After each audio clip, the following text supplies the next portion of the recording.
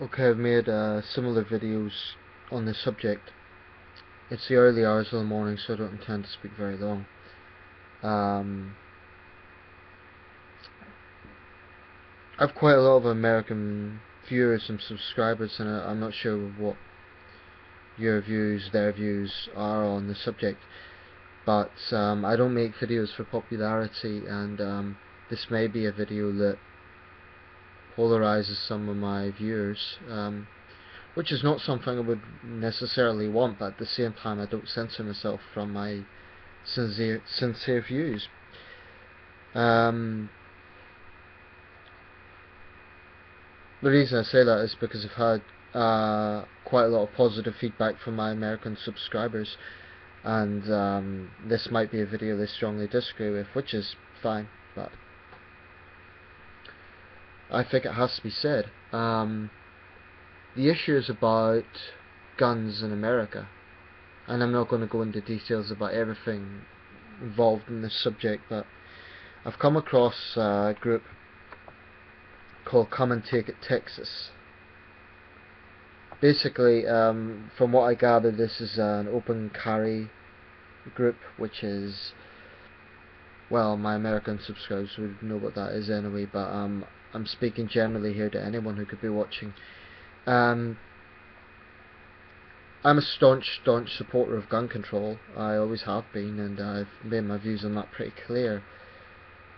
I um, my response to a group like Come and Take It Texas is uh, several-fold, I guess. On one hand, it's absolute bewilderment. I I cannot comprehend their mentality. I can only guess these people are deeply paranoid and deeply living in a siege mentality.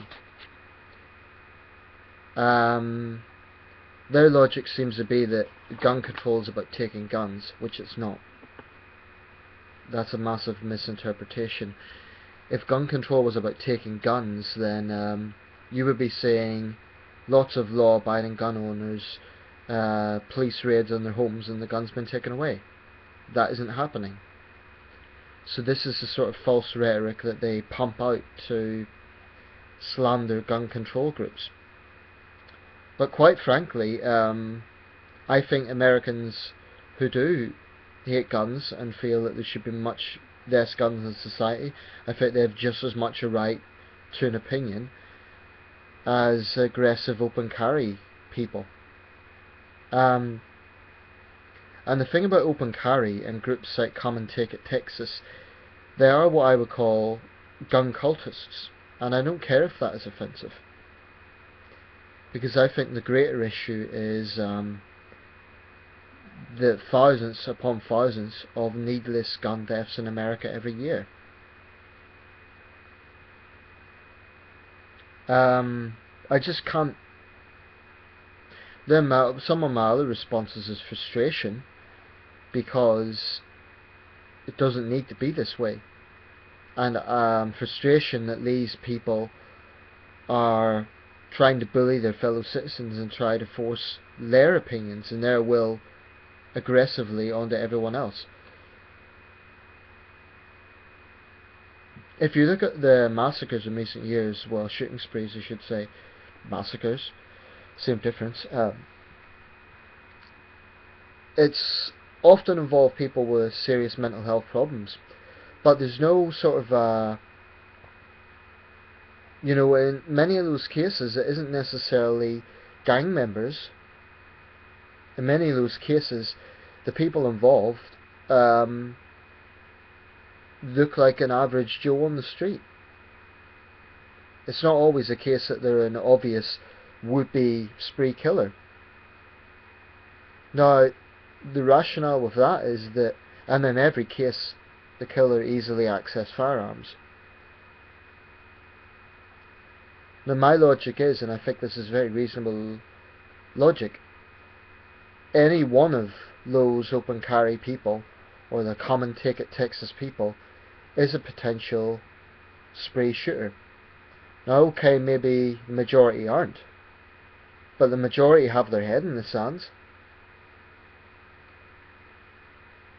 I just can't comprehend that there is a situation today in America that there are people so misguided and so paranoid that they genuinely have a 24 hour insurrectionist mindset and they believe that the democratically elected government of the United States um, is planning to take their firearms.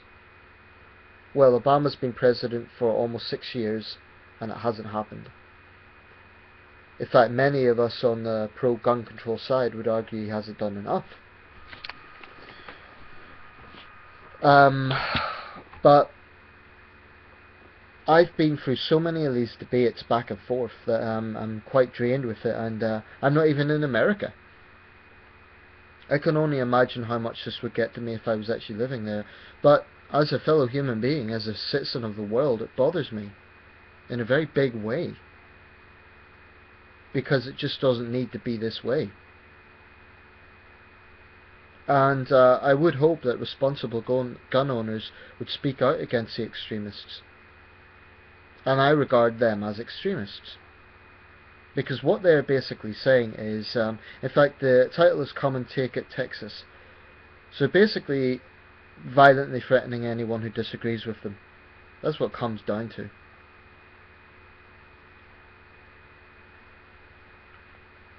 And I can't even begin to register this.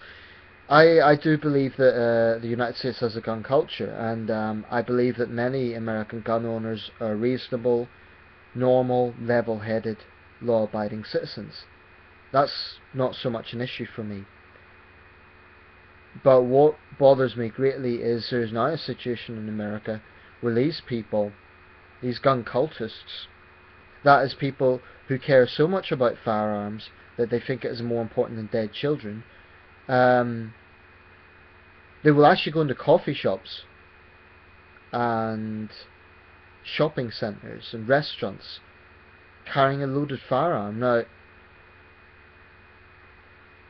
I'm not suggesting this is a new thing, but I think it is particularly intense right now because the gun issue has been quite hot in recent years.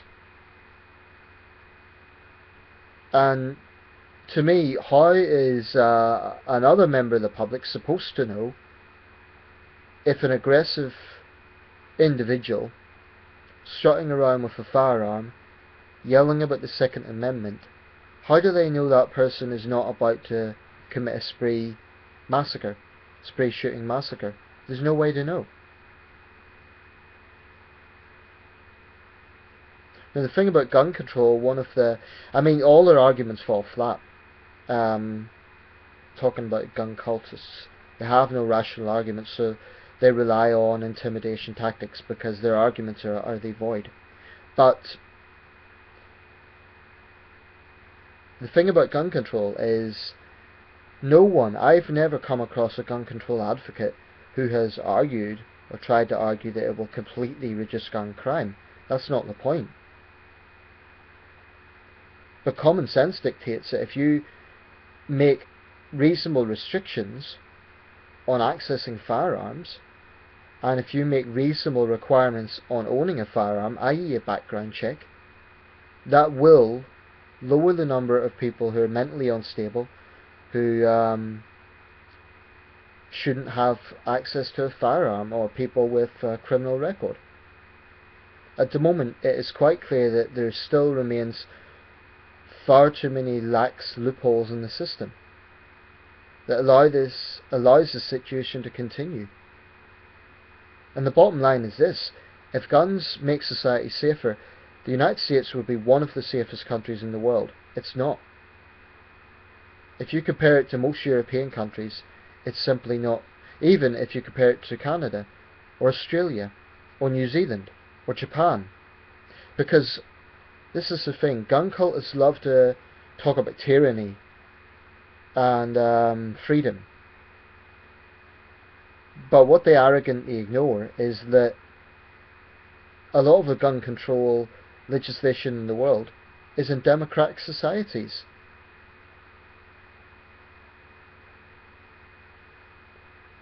And whilst I'm not an expert on the American Constitution, I'm fairly sure the founding fathers did not have in their mind the current situation of insurrectionist, aggressive, paranoid individuals pushing their way around and threatening their fellow citizens and the government.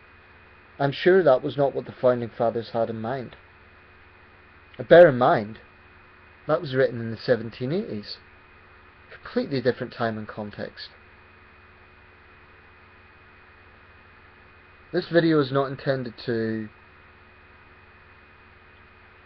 change any minds particularly. Um, it's just to express my view on the matter. And I'm deeply grateful. I, I have enormous respect in many ways for the United States and have a lot of um, warmth to the United States. Um, I like America very much, but the gun issue is something I, I can't understand really. Not in terms of the details, but in terms of I can't understand, I can't accept it. I can't understand the thinking of gun extremists. Now, just to be clear, I'm not talking about gun owners. I'm not talking about the average gun owner who um, thinks about other things in life and who doesn't have an obsession with it, and who's a law-abiding citizen, and who is objective enough to listen to the other side. Now, I um, ah I don't know. I really can't rationalize how these people think. And I think it's scary actually that you have a situation where there are people walking around public areas with loaded firearms. And that's okay. I just can't understand how that could be seen as acceptable in the year 2015. Basically, these people are trying to turn America into the Wild West again. That's what comes across to me. And it's very disturbing. So I have massive respect for gun control advocates in the US because it is a very brave position to take. They are a friend. They do face mass massive hostility, but they're actually threatened as well. So to me it takes enormous courage.